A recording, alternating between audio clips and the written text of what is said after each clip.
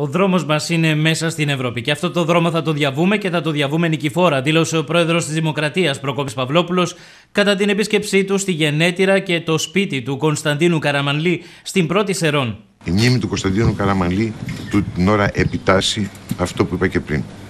Ο δρόμος μας είναι μέσα στην Ευρώπη και αυτό το δρόμο θα τον διαβούμε και το διαβούμε νικηφόρα. Τον πρόεδρο της Δημοκρατίας υποδέχτηκε και ξενάγησε στο σπίτι του Κωνσταντίνου Καραμαλή, δείχνοντάς του οικογενειακές φωτογραφίες αλλά και φωτογραφίες από το δημόσιο βίο του ιστορικού ηγέτη, ο αδελφός του Αχηλέα Καραμαλής και ο γιος του Αχηλέα, βουλευτής Σερών Κώστας Καραμαλής. Ενώ παραβρέθηκαν επίσης ο Πέτρος Μολυβιάτης και ο Περιφερειάρχης Κεντρικής Μακεδονίας Απόστολος Τζικώστας. Η ενότητα στις δύσκολες ώρες για τις μεγάλες αποφάσεις πέρα και έξω από στήρες κομματικές αντιπαραθέσεις. Κυρίως όμως καλούμαστε σήμερα να ολοκληρώσουμε το ευρωπαϊκό όραμα του Κωνσταντίνου Καραμανλή. Να πορευτούμε μαζί με τους άλλους λαούς μέσα στην Ευρώπη.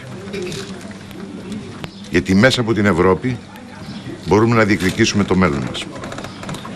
Και να διορθώσουμε μαζί με τους άλλους λαούς στην Ευρώπη ώστε να ξαναγυρίσει στις αρχές και τις αξίες από τις οποίες και εκείνη ξεκίνησε. Νωρίτερα ο κ. Παυλόπουλος παραβρέθηκε και στην Πατριαρχική Θεία Λειτουργία στον Ιερό Ναό Αγίου Νικήτα Σερών, ενώ είχε και κατηδίαν συνάντηση με τον Οικουμενικό Πατριάρχη Βαρθολομαίο. Ο Θεός θα βοηθήσει τον ελληνικό λαό και αυτή τη φορά να ξεπεράσει, να υπερβεί τις δυσκολίες και να ξαναβρει το δρόμο των πεπρωμένων της φυλής και του γένους μας.